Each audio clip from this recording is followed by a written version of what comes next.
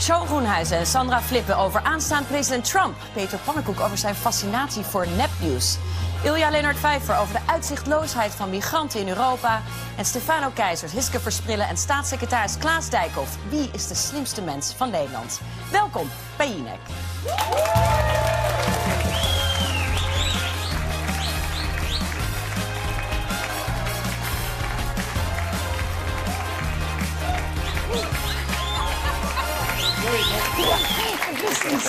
Goedenavond en welkom. Welkom ook aan al mijn gasten hier aan tafel. Fijn dat jullie er zijn. We gaan meteen naar het nieuws van vandaag. De zoekactie naar overlevenden in Italië verloopt moeizaam. Het land werd gisteren opgeschrikt door een aantal hevige aardbevingen... die een lawine veroorzaakten. Een hotel, hotel waarin op dat moment zo'n 30 mensen verbleven... werd bedolven onder 10 meter sneeuw. Het is amper zichtbaar nu, want het ligt helemaal bedolven. Vier lichamen zijn tot nog toe geborgen of gelokaliseerd. Twee mensen zijn levend teruggevonden buiten het hotel. Een van de mannen was even naar zijn auto, wat hem het leven redde. Hij belde direct in paniek een vriend. Aiuto, aiuto, aiuto, chiama tutti perché qui la situazione è drastica e l'albergo non c'è più, è scomparso. Ja, Ilja, je bent nu eventjes een paar dagen in Nederland... maar jij woont al jaren in Italië. Hoe wordt er over gesproken? Ja, dit is natuurlijk uh, een reeks van drama's. Het is steeds in datzelfde gebied waar al die uh, aardbevingen ook zijn. En die lawine is ook door een aardbeving veroorzaakt. Mm -hmm. uh, de situatie is ronduit dramatisch. toevallig een goede vriend van mij in Genua werkt voor de brandweer... bij de speciale eenheden die worden uitgezonden naar dat gebied. En heeft me wel verteld dat daar eigenlijk gewoon niks meer staat. Niets meer? Niets meer, nee. Gambia verkeert in een diepe crisis. De nieuw verkozen president kon vandaag niet in eigen land worden beëdigd... omdat zijn voorganger, die er bijzondere ideeën op nahoudt, weigert te vertrekken. President Jammeh baat in rijkdom en hij doet allerlei opmerkelijke uitspraken. Zo zei hij elke homoseksueel persoonlijk zijn keel te zullen doorsnijden. I have cattle, I've never seen homosexual gay cattle. And homosexuality is, a, is detrimental to human existence. Klaas Dijkhoff, wat moeten we hiermee? Nou, hij moet gewoon weg, want hij heeft verloren. Ja. Uh, dus dat is duidelijk. En dit soort uitspraken zijn waardeloos. Ja. ja, nee, maar dat is in landen daar wel vaker... dat mensen niet willen accepteren dat ze verloren hebben... en te lang blijven zitten. En wordt er dan vanuit Den Haag gekeken van dit is reddeloos verloren... of sturen jullie nog misschien een telegram van... hey gast, Ga hey, gast. Hey, gast. gast. Hey, Misschien yo. dat hij dat begrijpt. Ja. Gewoon informeel, even in zijn taal. Even gewoon uh, levelen. Ja, ja nou, ik denk dat dat niet helemaal de stijl van Bert Koenders is. um, uh, en ik weet ook niet of het effectief is. Ik geloof dat we al een paar escalatieniveautjes verder zijn met het land nu. Uh, als je nu ook ziet wat, wat troepen daar aan het doen zijn. Ja. maar dit is, ja, het is natuurlijk treurig, want uiteindelijk leidt het volk altijd aan zo'n aan zo'n figuur die, die denkt dat het om hem draait. Ja. De dag voor zijn inauguratie onthult aankomend president Trump een bijzonder feit over zijn vers gevormde kabinet. We have by far the highest IQ of any cabinet ever seen. Ik hoorde je al lachen, Peter. Ja, nee. Al bij de eerste woorden. Ja, maar ook als, als, stel voor het zou wel zo zijn, dan zou je dat volgens mij nooit zeggen. Dat is nou Ja, precies het denken. juist dan niet, Degene die roept, ik ben het allerknapste, is vaak niet zo het knapste. Nee, Dat is nee. Maar toch, ik denk vaak van hoe zou het zijn om zo schaamteloos door het leven te gaan? goddelijk. Toch? Dat- ja, Ja. toch? Gewoon, dat is toch het allerlekste wat... Dat willen we allemaal! Ja, Nee, dat, twijfel bestaat niet. En, en de redactie van de slimste mensen is voor jaren van kandidaten voorzien. Dat is wel een voordeel. Inderdaad, ze kunnen allemaal langskomen. Een van die genieën uit het nieuwe kabinet is miljardair Betsy de Vos. Zij wordt de nieuwe minister van Onderwijs en werd gisteren in de Senaat ondervraagd. De Vos deed daar een opmerkelijke uitspraak over wapens op scholen. You think that guns have any place in or around schools? Uh, I think that's best left to locales and states to decide. You can't say definitively today that guns shouldn't be in schools? Well, I, I will refer back to uh, Senator Enzi and the school that he was talking about in Wapiti, Wyoming. I think probably there, I, I would imagine that there's probably a gun in the school to protect from potential grizzlies. Nou, logisch toch, Charles? Want Wapiti, Wyoming zijn vast heel veel beren. Ik, ja, er zijn heel veel beren. En ik heb eens opgezocht wat er aan de gaande is in Wapiti, Wyoming. Uh, daar zit een meneer Schulte, Scoter, zegt waarschijnlijk de uh, onderwijsinspecteur. Die zegt van nou, A, ja, we hebben hier grizzlies, heel veel zelfs. Mhm. We hebben een heel groot hek op de school gezet, dat helpt. En wapens in de school dacht het niet en dat willen we ook helemaal niet. En er is ook nooit wat gebeurd. Ja, er zijn wel incidenten met beren, maar dan buiten het hek van de school. Dus dat wat zij nu zegt appelleert... Kletskoek. eh, kletskoek. Maar het appelleert wel aan de achterban van Trump. Nou, dit gaat wel ver hoor. Even ook denk, nou ja, ik hoop toch ook voor de achterban van Trump. Hoe Grizzlies en een school. En het gaat natuurlijk over een aantal verschrikkelijke schietpartijen op scholen die we hebben gezien. Waarbij Grizzlies niet het probleem waren, maar wel maloten die met half automatische Mhm. geweren zo een school eh, binnenkwamen. Dat is het probleem en daar heeft ze het niet over. En dat vind ik, ik vind het echt schandelijk. Dit was een van de uitglijders, zoals je zou kunnen zeggen. In de commentaren was iedereen eigenlijk verbolgen over het feit dat iemand die zo'n belangrijke functie krijgt, eigenlijk nooit in het onderwijs heeft gewerkt. En hele basale termen niet ja. kon uitleggen of begreep. Ja, het ging over financiering van het onderwijs, zat je niet mee vermoeien. Maar het bleek dat ze echt hele fundamentele dingen, hoe dat daar gaat met charterschools en zo, dat ze het gewoon eigenlijk helemaal niet snapten. Is zij De een, vraag niet snapten. Is zij een uitzondering in dat geniale kabinet waar Trump het over had, met dit soort uitglijders? Of zijn er meer? Ja, er zijn er meer. Die, eh, eh, bijvoorbeeld meneer Perry, die ooit in een debat heeft gezet dat hij de EPA, dat is het Amerikaanse ministerie van Milieu, wil opheffen. En wie wordt er nu minister van Milieu? Ja, zeker wel, die- diezelfde meneer Perry. Wat hij trouwens toen in het debat zichzelf ook niet precies kon herinneren, wat hij nou ook, wilde opheffen. Dus nou ja, het is, het is, het, het, wel een bonte boel. Ja, Sandra Flippen, jij bent de chef economie bij het AD. Jij bent net terug uit Davos. Je was daar voor het World Economic Forum. Dat is eigenlijk een soort Uber-vergadering van alle machtige denkers van de wereld over hoe het verder moet. Vat ik dat zo goed samen?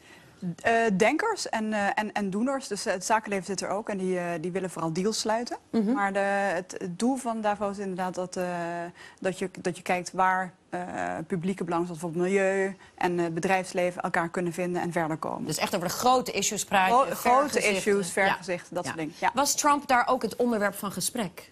Absoluut. Hij was ook de grote afwezige. Dat was natuurlijk het grote probleem. En, ehm, eh, en, en nou ja, er waren eigenlijk twee dingen die daar heel erg speelden. Zowel op de voorgrond in de officiële sessies... als ook in de wandelgangen. Want ik heb urenlang in lobby's doorgebracht eh, van hotels... Om, om te horen waarover gesmoezeld wordt. En ehm, nou ja, wa- wat er vooral is, is ten eerste ontzettend veel onbegrip... eh, over hoe kan het in hemelsnaam dat deze man is komen bovendrijven. Nog steeds onbegrip? Ja, precies. Nog steeds onbegrip. Verbaast mij ook. En, eh, en ook ontzettende angst. Angst over wat hij gaat doen. En, ehm, en dat vind ik wel begrijpelijk. Want, want die angst die gaat namelijk over het feit dat wat er in Davos gebeurt... alles waar het voor staat, waar het voor gestreden heeft sinds de oprichting... dat is eh, wat Trump met, eh, aan zijn laars wil gaan lappen. Dus internationale samenwerking. Milieuafspraken, eh, internationale handel, armoedeverlichting, globalisering. Echt al die dingen wil hij gewoon. En is dat dan een soort oprechte, principiële angst en zorg over de toekomst van de mensheid? Of is het meer omdat hun bestaan eigenlijk overbodig wordt, omdat hij toch niet in hun geïnteresseerd is? Ik denk allebei, zeker. Eh, niet in de laatste plaats hebben zij... Kijk, die, die mensen die daar komen zijn vaak eh, steeds dezelfde journalisten ieder jaar. Ik was er voor het eerst. Maar heel veel dezelfde media, de, eh, dezelfde CEO's, dezelfde politieke kopstukken. En zij hebben natuurlijk... Er zijn een aantal strijden die daar al jarenlang gestreden worden. En daar zijn natuurlijk allerlei mensen die hebben daar ook allerlei belang bij. Eh, en, en dus zien zij ook hun belangen... En, en dat waar zij voor gaan, zien ze in gevaar komen. Ja. Je hebt daar Lawrence Summers geïnterviewd. Hij is oud-minister van Financiën uit de VS. Dat is een eh, interview dat morgen in het AD komt. Wat is zijn grote zorg? Eh, hij heeft twee grote zorgen. Hij zegt, eh, zijn, waar hij in het interview vooral op ingaat, is zijn zorg over wat Trump gaat doen voor de Amerikaanse middenklasse. En wat hij zegt, en dat vind ik best wel een, een heel nieuw en verfrissend inzicht. Hij zegt, het, is precies, het zijn precies diezelfde mensen die hem gekozen hebben, die hij als eerste gaat beschadigen.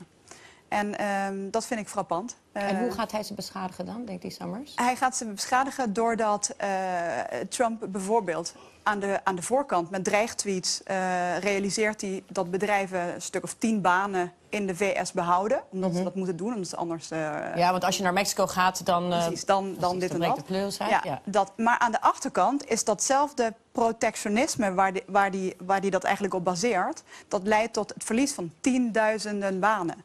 En, dat is, en, en hij, hij was ook best wel verwijtend naar mij. Hij zei, jullie media moeten ook meer kijken naar wat er aan de achterkant gebeurt. En niet alleen naar wat hij aan de voorkant doet. Want dat is precies wat hij wil. Hij wil dat wij allemaal op zijn tweets inspringen. Mhm. Ja. En zeggen van, hé, hey, best wel goed eigenlijk die banen. Ja. En aan de achterkant verliest hij... eh, v- eh, Op verliest- lange termijn en Ja. veel grotere gevolgen. Is Precies. dit iets waar jij ook in kan vinden, Cheryl, deze analyse van Summers? Nee, ik vind het overdreven. Eh, om te beginnen gaat het eh, bij een paar bedrijven die- waar hij echt ingegrepen heeft. Hè. Eh, de eh, autobedrijven, een grote fabriek van airconditioning. Daar zijn meer banen nu behouden gebleven dan anders het geval geweest zou zijn. Maar eh, ja, is, op zich is het een druppel op de gloeiende plaat. Maar wat hij wel doet, hij schudt aan een boom die, waar enig schudden op zijn plaats was.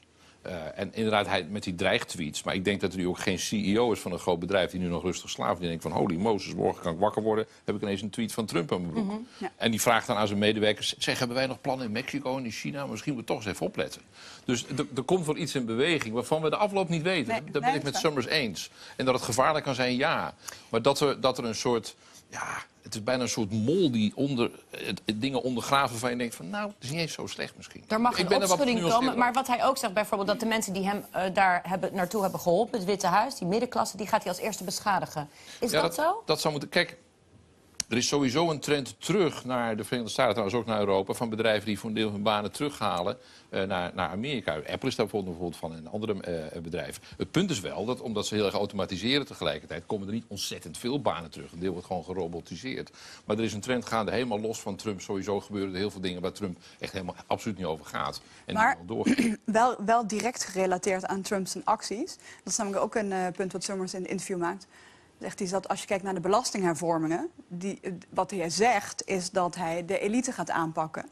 Maar wat de DORE, zeg maar het Amerikaanse Centrale Planbureau, die kijkt naar de koopkrachteffecten van zijn beleid. En die heeft, daar heeft hij naar gekeken en hij zegt. Wat je in feite ziet gebeuren, dat als, hij, als zijn plannen doorgaan, dan gaan de allerrijkste 1% Amerikanen, die gaan er 14% op, acht, eh, op vooruit, na belasting. Terwijl de middeninkomens, de mensen die hem in het zadel hebben geholpen, die gaan er helemaal niet op Voor de vooruit. zoveelste keer, want het is niet voor het eerst dat dit gebeurt. Nee. Hè, boven gaan ze zo in daar.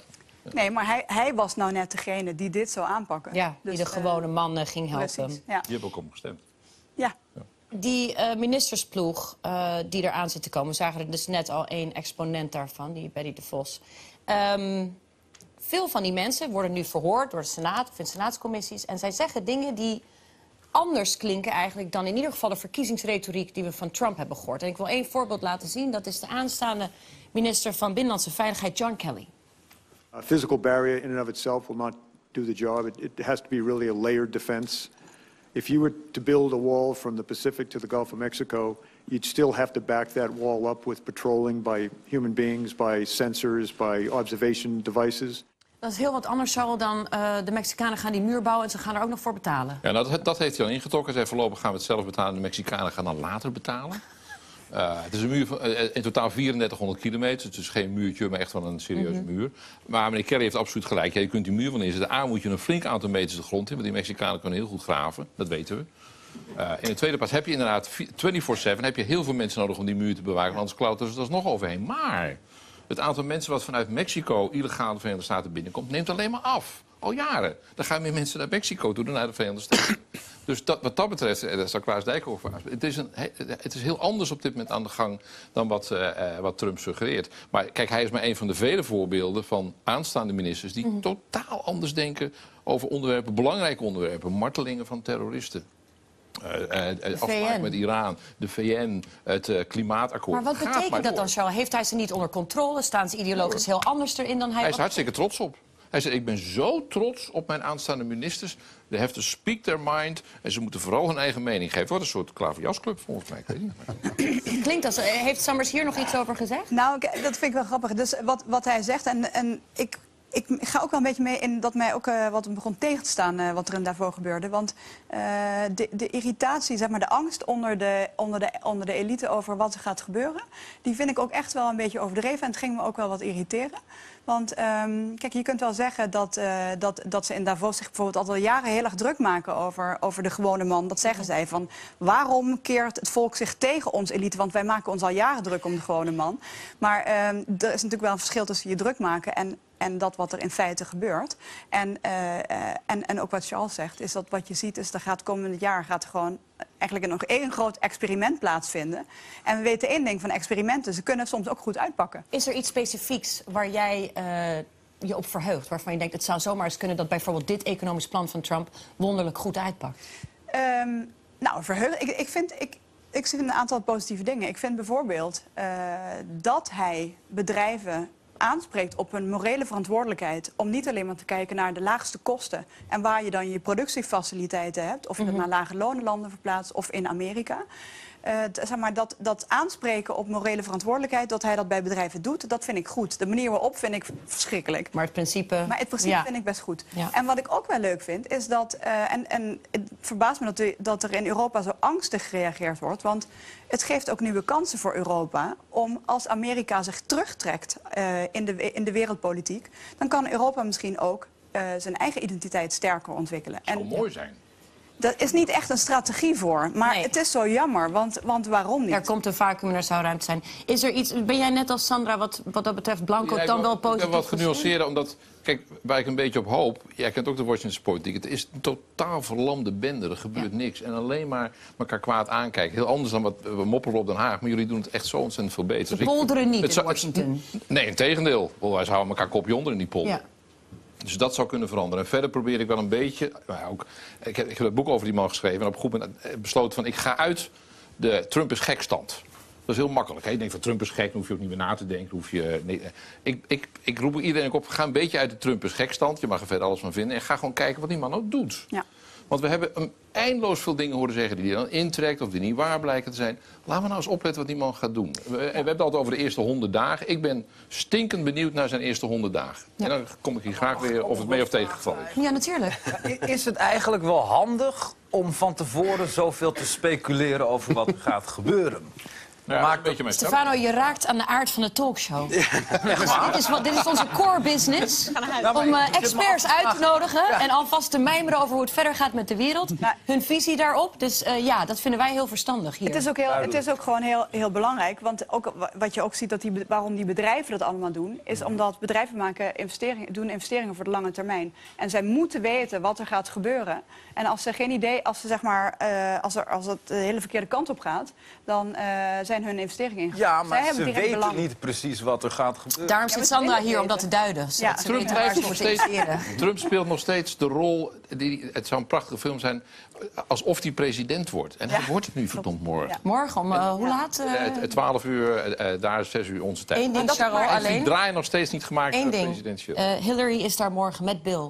Ja, dat wordt wel een interessant plaatje. Ja, dat Wat moet toch gruwelijk zijn? Want ze had gewoon president kunnen zijn. Nou, een andere democraat had president kunnen zijn. Zij niet, maar een andere Ja, wel. dus we Als gaan, Joe eh, Biden mee had gedaan, was hij het geworden. Of niet. Zij gewoon acht jaar geleden had gezegd van, weet je wat, ik ga gewoon met pensioen. En dit is voorspellen wat altijd waar is. Nee, was hij het ik- geworden Nou ja, ik heb, met 100 nee, ik heb, nee, ik heb- De inauguratie nee, ik is heb, nee, morgen. nee, ik heb het al eerder gezegd. De inauguratie is morgen live te volgen op NPO Ah. 1 vanaf kwart over vijf. Dank jullie wel, allebei. Wat is het eh, grootste probleem waar Europa mee worstelt? De vluchtelingencrisis. Nergens zie je die beter dan in de straten van de Italiaanse stad Genua... waar schrijver Ilja Leonard Vijver sinds acht jaar woont. Hij maakte een drieluik over de migranten in zijn stad. Ik heb de eerste aflevering mogen zien, Ilja. En ik was ehm, verpletterd door de uitzichtloosheid van de verhalen die je daar vertelt. Er zit geen respijt in. Eh, ik ben in ieder geval heel erg blij dat het je niet koud laat. Dat zeker. Dat zeker. Eh, nee, het is, eh, het is niet alleen kommer en kwel. We hebben ook een aantal prachtige mensen ontmoet. Maar wat vooral zo verpletterend is, is het eh, totale gebrek aan perspectief. Dat ben ik met je eens. Ja. Ehm, het zijn niet, dat vond ik ook heel mooi daaraan. Wij praten altijd over vluchtelingen ehm, als een soort massa mensen. Een blok mensen zonder identiteit, zonder dat het individuen zijn, zonder gezichten. Ze krijgen allemaal gezicht, ze hebben allemaal hun eigen verhaal in jouw eh, betoog. Ehm, en het zijn niet oorlogsvluchtelingen allemaal. Er zijn heel veel economische migranten, economische vluchtelingen. Sommige mensen noemen dat gelukszoekers. Eén daarvan is Kumana. Die ontmoet jij, dat is een 16-jarige jongen, denk ik. Ja, als we hem tegenkomen, dat is... eh, dan komt hij net van de boot. Eh, eigenlijk, hij komt net vanuit Sicilië. Eh, twee dagen daarvoor is hij op het strand eh, in Libië... eh, op een boot gestapt die een aantal uren later begon te zinken. En hij heeft geluk gehad. Hij is gered door de Italiaanse kustwacht. Mhm. En ja, de angst staat nog in zijn ogen. Je kan het zien. We gaan even kijken. It was just three hours, but it was the hardest part of my life in this journey because the boat was sinking. Nobody knows what will happen. Do you have still you still have your family in Gambia? Yeah, I still have a family in the Gambia. Do they know that you're safe? Do they know that you arrived here? No, since I came here, I did not make a call because there was no chance of giving us phone to come make a call. You can make a call if you want. Gebeurt hierna, Ilja?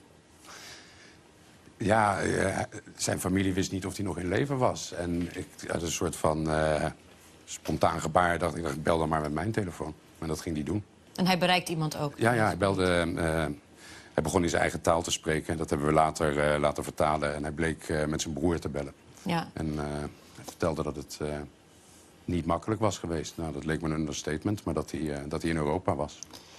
Toen ik er naar zat te kijken, en ik begrijp heel goed ehm, dat je je telefoon aan hem geeft in zo'n gesprek. Dat is volgens mij het enige normale wat je als mens kan doen. Als Nou, die- sterker, ik heb misschien nog nooit eh, gedacht dat mijn mobiele telefoon eh, zo nuttig was. Ja, ja dat begrijp ik. Ja. En, en dan, dan, neem je weer die, dan krijg je die telefoon van hem terug. En dan zeg je heel lief eigenlijk, eh, ook voor mijn gevoel een beetje onbeholpen, zeg je welkom in Europa. Ja, dat was niet voorbereid. Dat was inderdaad echt onbeholpen. Ja, wat moet je dan zeggen? Ik weet het niet. En dat is denk ik eh, dat gevoel wat ik had toen je daar wegliep van dit gesprek. Dat is misschien het gevoel wat je overhoudt van dit hele probleem. Ja, eh, wat je, eh, ik, ik hoop dat, dat het in, in ieder geval lukt om, zoals jij dat uitdrukt... om van die discussie over aantallen vluchtelingen en hoeveel er weer komen... en dat het er elk jaar meer zijn en hoeveel er verdrinken... en dat het er elk jaar meer zijn en hoeveel we er kunnen opnemen... en hoeveel in ieder geval niet, om dat terug te brengen naar dit soort verhalen... naar gezichten en mensen die hun verhaal vertellen. Eh, daar wordt het probleem niet simpeler van, maar ik denk dat dat wel nodig is. Je zegt eh, ook in het, eh, in het stuk, zeg je, je zou kunnen denken... dat zeg je aan het begin eigenlijk van deze aflevering... dat Genua Europa is, maar het is Afrika. En je zegt hoe het nu is in Genua... zo wordt dat binnenkort ook in Noord-Europa. Nou ja, dat is de reden waarom we in Genua zijn gaan filmen. eh, waarom we het onderzoek naar migratie in Europa juist in die stad hebben gedaan. Eh, het is natuurlijk sowieso dat Italië al jaren voorloopt op de rest van Europa. Door de geografische ligging hebben ze Daar al, spoelen ze aan, daar komen ze minstens 15 jaar te maken Ja. met dit probleem. En Genua is eh, binnen Italië een van de steden met de grootste en ook meest zichtbare Afrikaanse gemeenschappen. En wat Genua zo bijzonder maakt, is ook dat eh, de immigranten, de vluchtelingen, de bootvluchtelingen. Niet terechtkomen in banlieues of buitenwijken, maar juist precies in het centrum een onderdak Ja, vinden. waar waar ze ze- voortdurend tegenkomt. En, eh, en- ja, daardoor zijn ze heel zichtbaar. Maar daardoor ontstaat ook een, eh, een heel interessant eh, sociaal laboratorium. Want in het centrum moeten ze noodgedwongen, zo Ja. goed is ook wel als het gaat, samenleven met de oorspronkelijke bevolking. Hoe kijkt u hiernaar? Ik snap, ik vind, ben het Ilja eens dat het goed is dat, je, dat het eh, ook op individueel niveau een gezicht krijgt. En je zegt terecht, het wordt niet simpeler, het probleem.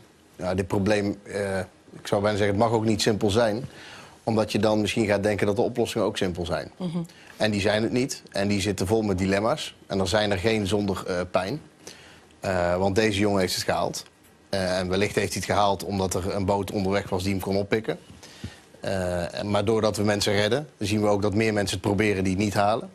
Dus je redt meer mensen en er sterven meer mensen. En dat is, dat is alleen, dan hebben we het alleen maar over de oversteek, nog niet over alle andere problemen die er zijn. En met dit, dat soort dilemma's zit de hele problemen eigenlijk vol. Ik wou net zeggen, want het overleven van die tocht is één ding... maar die uitzichtloosheid, dat dringt zich op als je ziet wat voor leven die mensen daar, daarna overhouden. Ja, dus ja, in het geval van iemand die voor economische motieven eh, vlucht, strijden twee dingen met elkaar. Menselijk, als iemand voor je staat en hij is sympathiek, en dan natuurlijk wil je iemand dan welkom heten. Maar eh, eh, beleidsmatig is hij niet welkom. En dat zul je, ook, dat zul je dan ook moeten af kunnen dwingen en ook kunnen doen. Omdat je ieder individu kun je natuurlijk van zeggen als je hem leert kennen, strijk, die kan er nog wel bij. Maar ja, zo werkt het natuurlijk niet. Als nee, mensen je bent beleidsmatig niet welkom. Ja, ik Meneer, probeer u bent onderscheid te beleidsmatig maken. niet welkom. Nee, Dat nee, wou- dat zeg je niet. Nee, dus je moet proberen te voorkomen dat iemand de illusie heeft dat die oversteek helpt. En dat die oversteek beloond wordt met perspectief en een verblijfsvergunning en een baan als dat niet zo is. Omdat daardoor dat, door die illusie van perspectief mensen ook hun leven in de waagschaal stellen en overlijden. Maar als En je in en een straatarm land opgroeit... Klaas, als je in een straatarm land opgroeit... en je wordt gebombardeerd voortdurend met beelden van het rijkdom dat wij hier hebben... Ja. denk je dat die stroom ooit stopt? Dat is toch geen reële gedachte? niet vanzelf.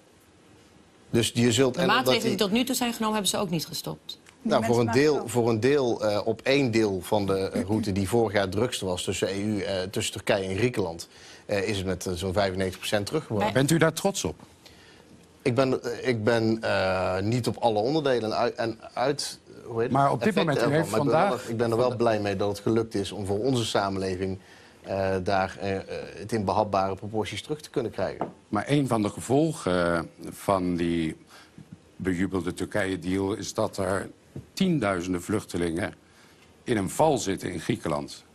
In de kou, zonder enige onderdak. Eh, u heeft daar vandaag nog van gezegd dat dat de schuld is van de Grieken.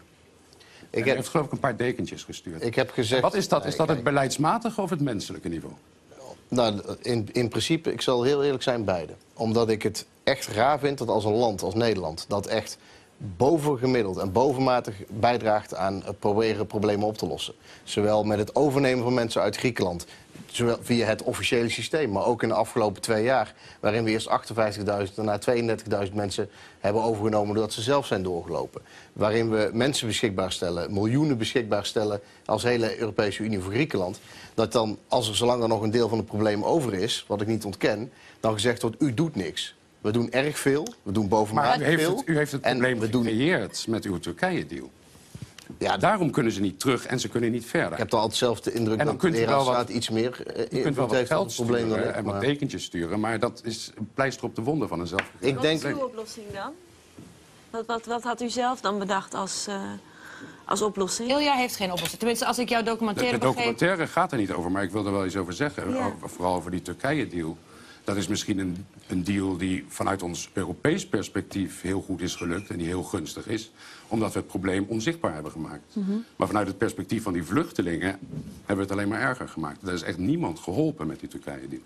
Ja, Nee, maar wat is dan de oplossing? ja wat... hoe- Eh, ik denk dat je eh, minder beleidsmatig moet denken en meer menselijk. En ik denk dat je eens heel goed moet beseffen dat die stroomvluchtelingen nooit valt te stoppen. Ze zullen altijd komen. Zijn er, vlucht- denk zijn ook- er vluchtelingen die terug willen? Er zijn veel mensen die terug willen. Er zijn mensen zitten gevangen. Dat is eigenlijk waar jij het over hebt. Dat is een soort eh, een trap. Ik weet niet, je komt er niet meer uit. Je, je kunt niet terug naar huis. Dat zit ook in jouw documentaire, Ja. zit dat veel. Eh, voor verschillende redenen kunnen mensen niet terug. Het is eh, inhumaan. Dat is denk ik eh, de enige conclusie die je kan trekken. Maar dit is, ik heb dit al vaker aan deze tafel gezegd, zo'n groot probleem. En ik kan het ook niet ehm, hier aan tafel oplossen. Dus ik moet het eh, nu afronden. Via Genua is vanaf aanstaande zondag te zien om kwart over acht op NPO 2. Ilja, dankjewel. Straks Peter Pannenkoek over zijn fascinatie voor nepnieuws. De scholierenorganisatie LAX doet toch niet mee aan de verkiezingen. Maandag nog meldde LAX dat ze daar geen vertrouwen meer hadden in de politieke partijen. Maar het verhaal was een stunt om aandacht te vragen, zeggen ze nu, voor de problemen in het onderwijs. NOS verwijt LAX dat ze opzettelijk onjuiste informatie hebben verspreid.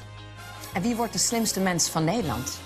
Ehm, ik heb begrepen dat jij bang bent dat jouw concurrenten je gedachten kunnen lezen. Ik kan je geruststellen, ik kan je gedachten niet horen of lezen. En ik ben daar nog blijer mee dan jij zelf.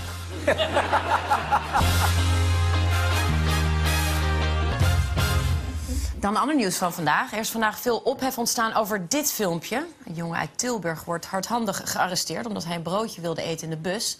De politie zegt dat hij vervolgens agenten begon uit te schelden.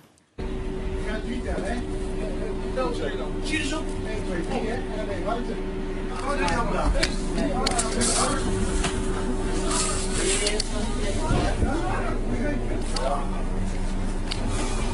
Dan gaan.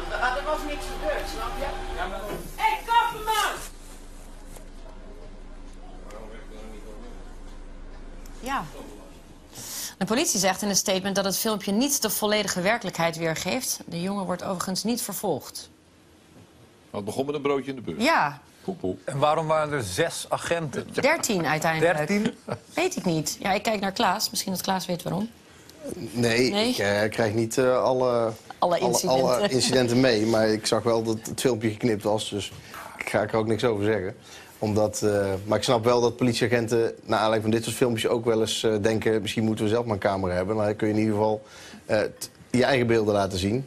En dan kan iedereen echt een, een afweging maken.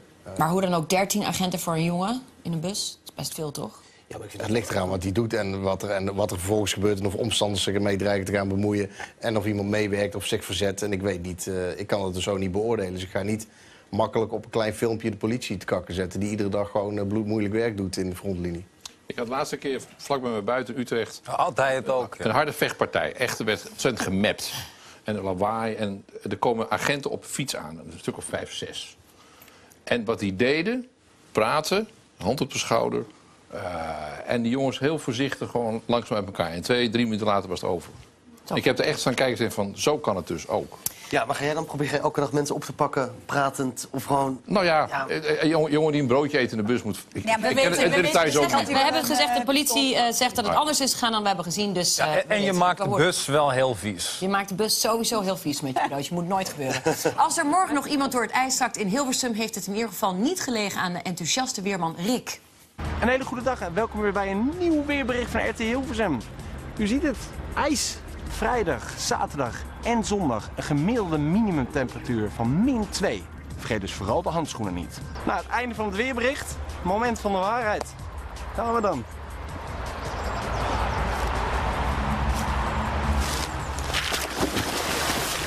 Oh, dat is fuck. Oh. En maar worstelen. Heerlijk. Annie en Peter zijn groot fan van Mickey Mouse. Ze verzamelen daarom alles van het tekenfiguurtje. Of het nu de slaapkamer is, de badkamer, de keuken of de woonkamer. Er is geen ontsnappen aan. It all started with the mouse. Dit is de oogst van een muizenjacht die al zo'n 30 jaar duurt. De allerlaatste staat genoteerd. Nummertje 4100, zoveel. Pyjamabroek. Plus shirt Mickey Mouse. En waar slaapt Peter in? Dat kan ik niet zeggen. YouTube-bekendheid Jeroen Holtrop kreeg de opdracht om, met, opdracht om met een string door een school te rennen. De directie kon de grap niet waarderen en hield de schooldeur gesloten. Een agent kon de actie wel waarderen. Ik hou gewoon mijn badjas aan terwijl we naar binnen gaan. Dan ga ik op zoek naar de aula en naar de wc's. En als ik weet wat mijn route is, dan laat ik hem vallen, doe ik hem uit en dan ga ik pas sprinten. Die deur zit dicht, kijk, kijk, kijk. Die deur zit dicht, man. Daar hebben we een politieagent. Hallo meneer. Zo. Jezus, man. Dit mag dus niet in Nederland. Zo mag je dus niet door een school rennen, meneer de agent. Godverdomme, trek gauw wat aan, want dat wordt steeds kleiner met die kaart.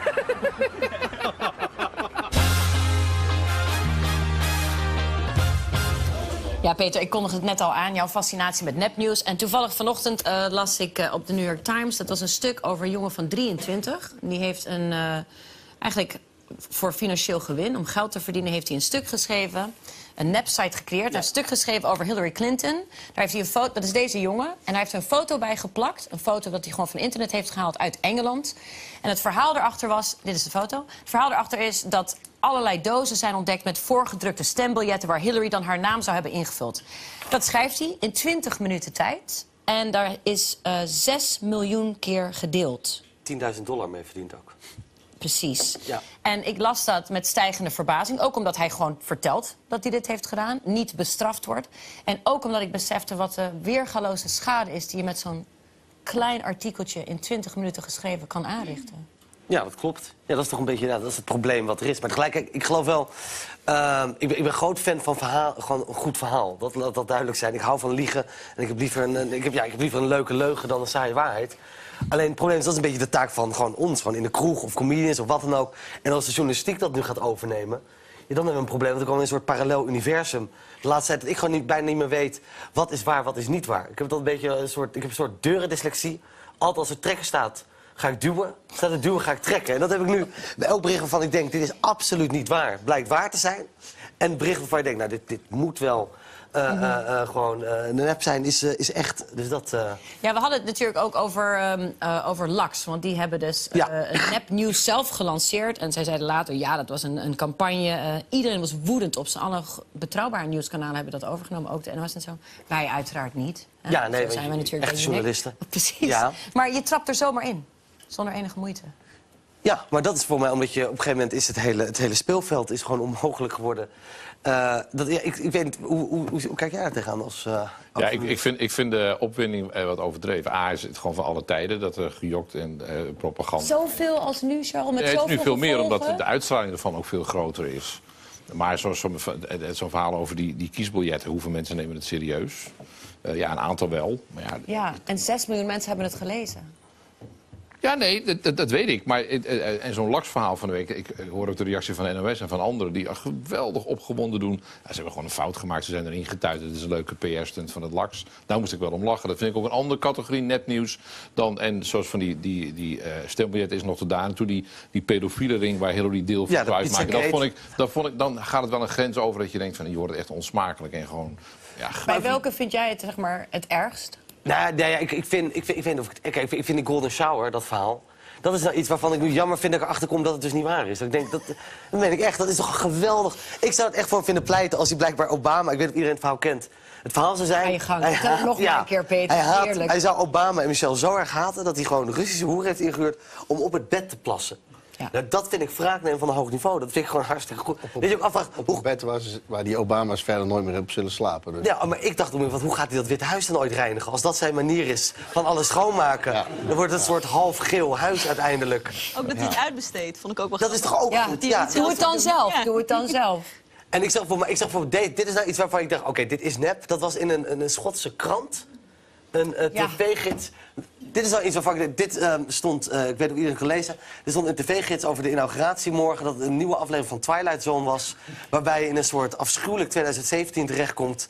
In een nieuwe Black aflevering. Mirror-achtig, ja. Black Mirror-achtig.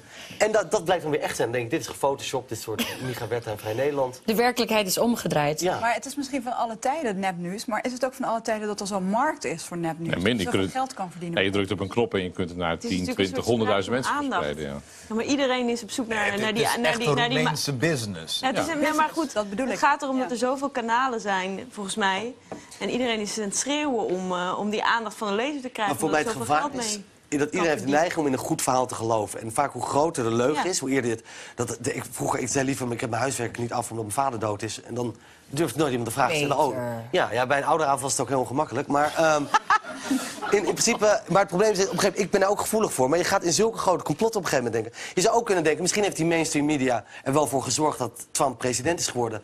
Want nu hebben ze vier jaar heel veel om over te lullen, heel veel om nieuws over maken. En zo kan je Ja, dan nee, je maar- echt in de complottheorie. Nee, ja, maar omdat jij erbij hoort. En dat is precies die ontkenning dat ik helemaal niet geloof. Ik moet ook de kop Nee, voor maar vinden ja.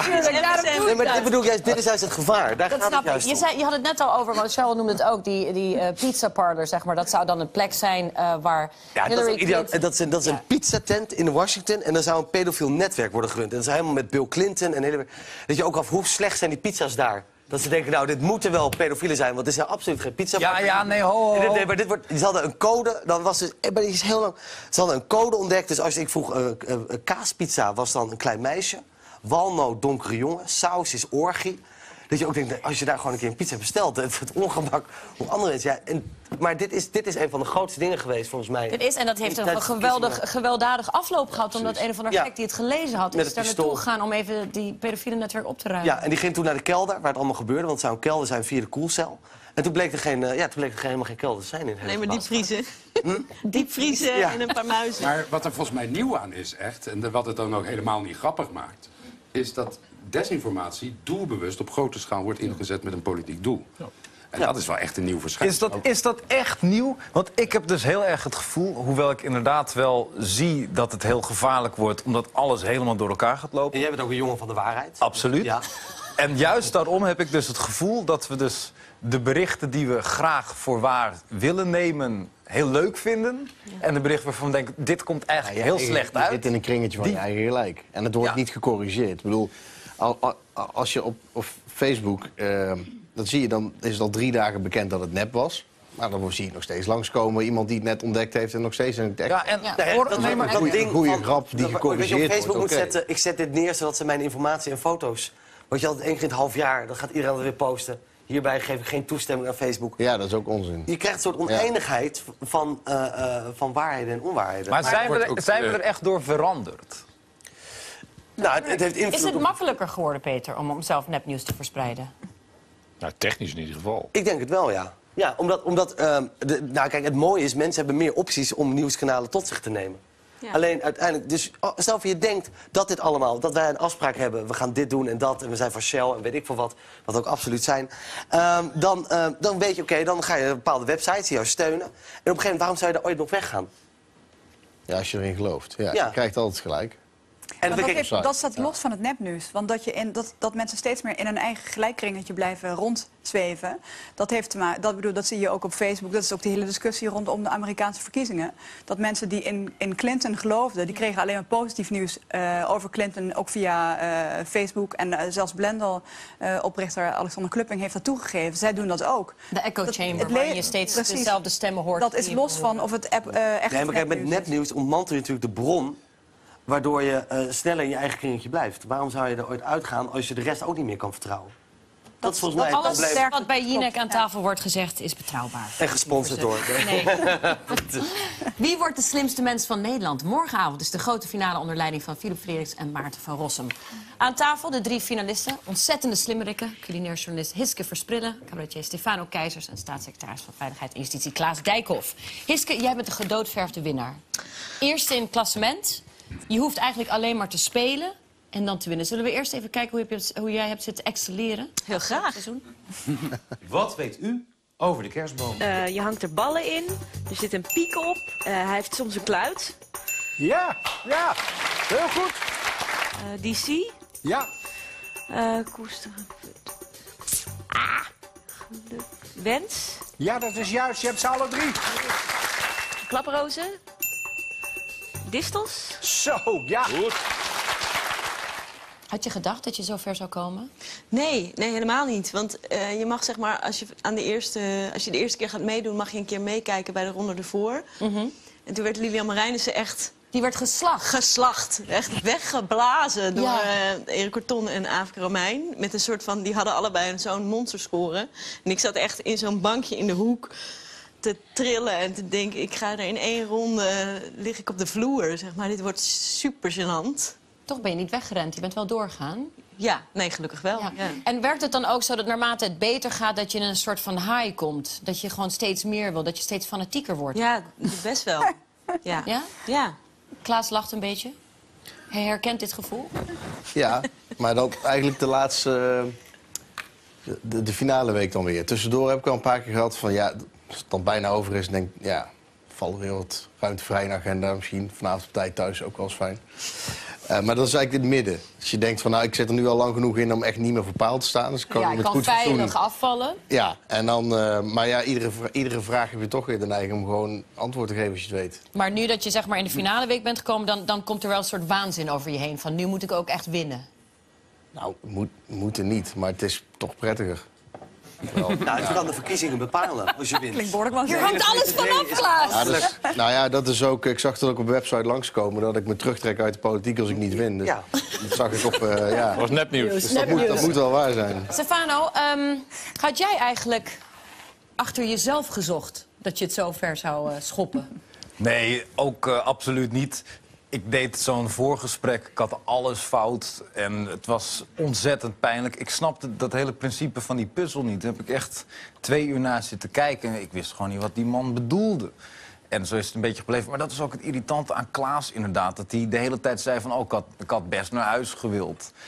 Dacht, Klaas is vrij onderkoeld, hè, over dit allemaal. nee, het, is nog veel erger. Ja, het is echt psychologische oorlogvoering. eh, ja. Wat ben jij eigenlijk? Op wat voor manier? Dit, dit alles, dit, eh, hoe je doet, eh, wat je vertelt over wie je bent... hoe je praat, hoe je er iedere keer uitziet, wel niet gezichtsbeharing. Wat is dat? Het is uiteindelijk een bloemlezing van de mens. Hij is levend nepnieuws. Ja. Dat is, dat is De eigenlijk wat verpersoonlijking de van eerste nepnieuws. ter wereld. Kijk, ik zeg juist, ik ben de enige eerlijke BN'er. Want ik laat heel erg zien dat het allemaal nep is. Kijk, dit is de filosofische laag die we zochten Ja. bij ons onderwerp. Laten we even kijken hoe jij je manifesteert. Stefano, welkom terug. Wat zie je er prachtig uit. Oh, dankjewel. Jij ook. Je verrast ons steeds weer met een andere outfit. Je denkt er duidelijk over na. Nee, dit heb ik gewoon vanochtend uit de kast getrokken. Vlak voordat de uitzending begon, zei Klaas... het lijkt wel alsof je uit het riool komt. Het is wel degelijk zo dat hij me achter de schermen kapot probeert te maken. Maar dat lukt steeds niet.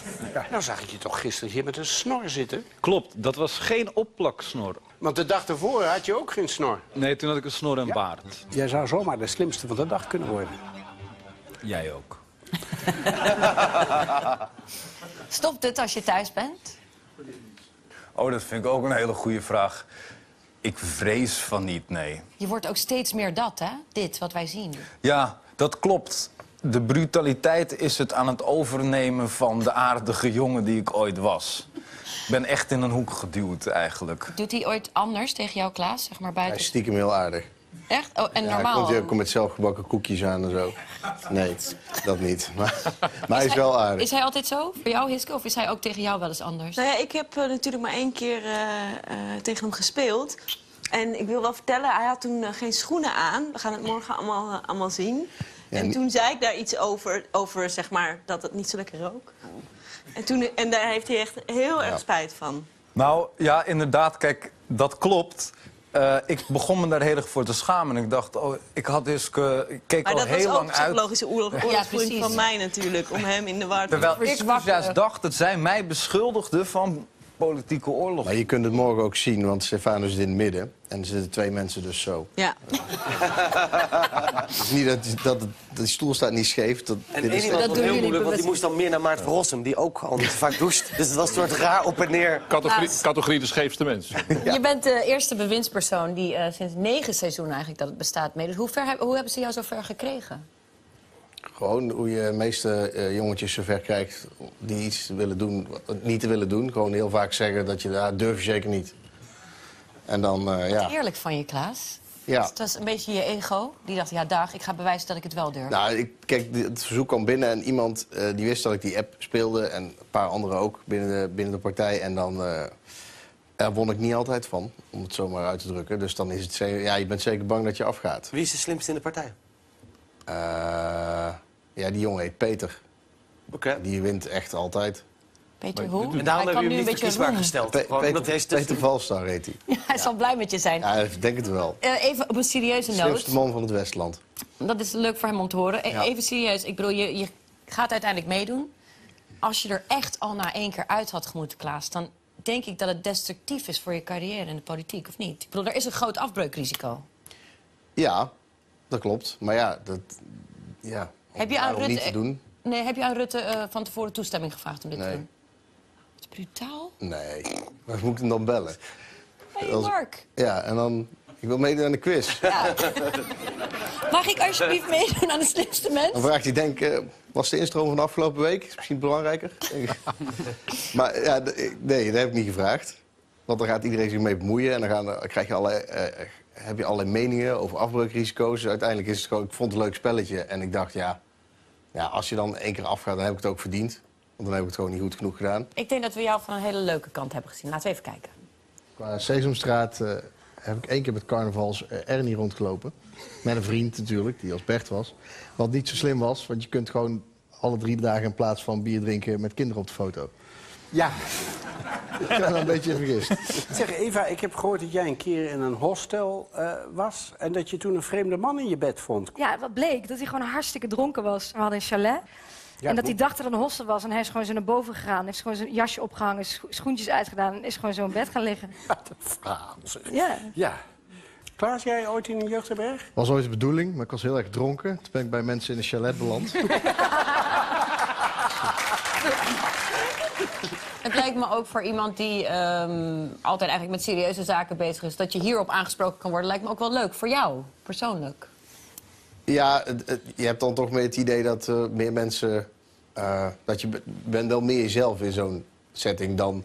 Je kunt moeilijke grappen tussendoor gooien eh, als je het over vluchtelingen hebt. Dat is natuurlijk geen onderwerp waar, waar zich dat voor leent. Dus mensen zien alleen een hele serieuze kant. Oh, maar dat is precies wat we nu aan het doen zijn eigenlijk. Hmm. Je bedoelt omdat, je bedoelt omdat we eerst over vluchtelingen aan het praten waren en zo. Ja, maar we... Ja, dan heb je dus twee andere... eh, twee keer een andere sfeer aan tafel. Correct. Dan, eh, het- ja. Dit is ook echt een duo. Dit... Ik wil daar meer van zien Ja. eigenlijk. Hè? Je wil zien hoe zich dat verder ontwikkelt. En het heeft echt niks te maken met dat het verkiezingstijd is. die uitzendingen. Nee, Dat jij zit. dat- Ik, ja, eh, niks te maken. Nee, het alles, als er verkiezingen zijn en je bent politicus, heeft er alles mee Alles te mee maken. te maken. Maar dan heb je Maar het ook alleen, het is niet dat je... Maar dan heb je nog, dan heb je nog een hoger afbreukrisico.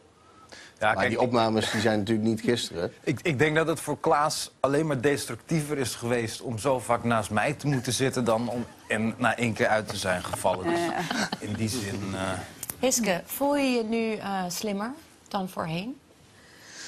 Mm, nee, nee, niet echt. Het is meer dat je gewoon eindelijk een keer wat kan doen met al die onzin in je hoofd. Het, het- het zijn echt zo... Al die nutteloze feiten die je al die jaren hebt opgespaard. Plat- weet je wel, platte pla k- klaproos, daar heb je natuurlijk geen reet aan verder. Dus, dus dat is fijn als je dat dan een keer gewoon de, tot Dat je het kwijt kan ergens. hè, kunt maken. En heb je het idee dat mensen je anders behandelen? Nee, ook niet. Nee, maar het is wel zo dat je voor de televisie altijd zodanig wordt opgetut, zeg maar, als vrouw. Ja. Dat eh, als je er in het dagelijks leven normaal uitziet, dat je helemaal niet wordt eh, herkend. En dat is voor mij als, eh, als, als, als recensent is dat ook wel fijn. Dat is heel fijn. Dat Ja. niet te gillen als je een restaurant Nee, loopt. Maar precies. weet je hoe vaak ik ergens kom en dat mensen zeggen... je lijkt op Eva Jinek. En dat ik moet zeggen, maar ik ben het. Maar dan zonder make-up natuurlijk. Ja. Horror. Verschrikkelijk. Stefano, los van de bloemlezing van het mens zijn... wat jij iedere keer etaleert in het programma... heb je ook een specifieke techniek Ja. om eh, te winnen. Ehm, de stare-down, zeg ik dat goed? Iets uit het Wilde Westen. ja, er is inderdaad een hele mooie term ervoor. Zullen we even kijken hoe dat eruit ziet? Je bent het hier aan het doen, maar wat doe je dan exact? Ja, ik richt mijn ogen heel duidelijk in de ogen van de kandidaat tegenover. Hij kijkt weg, Stefano. Ja, klopt. Ik dacht dus ook tijdens het in de ogen van Willem staren... dat hij dus bezig was om een soort dans met mijn ogen te doen. En daar dus, ik had het gevoel dat hij heel erg probeerde om dat weg te halen. En daarvan raakte ik wel een beetje in de war, want ik vind het ook heel moeilijk om dat te doen. Probeer maar eens, want kijk, dat zien jullie niet... maar dit duurt ongeveer een kwartier voordat ze beginnen met praten. Dan zet ze je gewoon daar tegenover elkaar neer en dan... Dit doe je een kwartier, dat stare-down? Ja, Oh, oké, dat is wel eh, ja, dat is een heftig middel. En Willem bijvoorbeeld, die ging dan ook in mijn ogen kijken... en dan ging hij heel vriendelijk lachen. Zo, van, wat, leuk. Wat een goede tactiek terug. Ja, inderdaad, was ik wel van onder de indruk. Dat is een spelletje, dat doen mijn kinderen ook. Hoe oud zijn ze, Sandra? 7 en 9. Kijk, dat bedoel ik.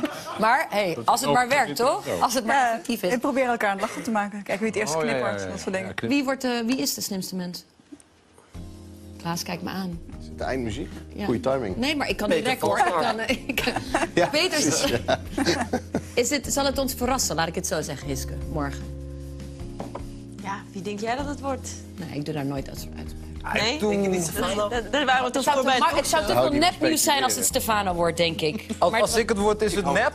Nou ja, dan is het weer... Onder, Dat is het ook raar. Dat is heel veel onderdeel mensen dat ik daar antwoorden had of zoiets. We gaan het meemaken. De finale van de slimste mensen is morgen om half negen te zien op NPO 2. Dank jullie wel, allemaal. Dank jullie wel. U ook voor het kijken. Heel graag. Tot morgen.